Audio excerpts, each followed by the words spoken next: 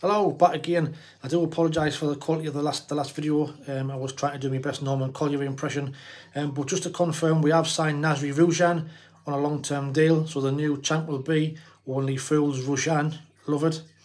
Um, also, in the last five minutes, been confirmed that um, Pembele and Aouchiche, who have been linked with, have both arrived at the academy to complete medicals um, and sign on permanent deals. So that's the young the young winger, stroke forward from Lorient, and the right back from PSG.